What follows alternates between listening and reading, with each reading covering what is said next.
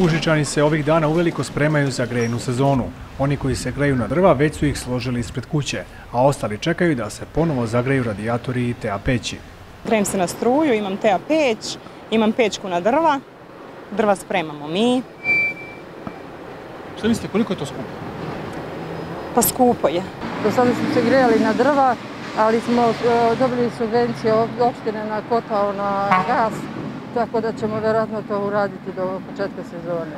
Bolje, mi, bolje bi mi bilo da se grejem na drva ili na ugalj, nego svaki mjesec plaćam po 9,5 Borisav Grbić je ugalj zamenio peletom i kaže da je ušteda energije i novca duplo veća, a u kući više ne mora da nosi vunene čarape.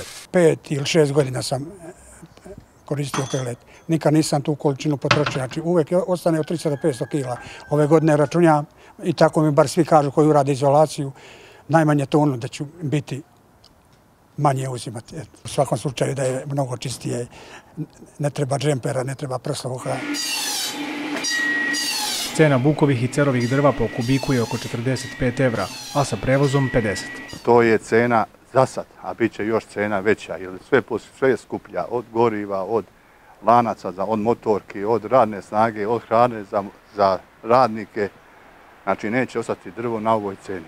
Drva su poskupila, ali zima ne pita za cenu. Najtraženiji energent u Užičkom kraju je pelet, za koji je potrebno izdvojiti od 170 do 190 evra.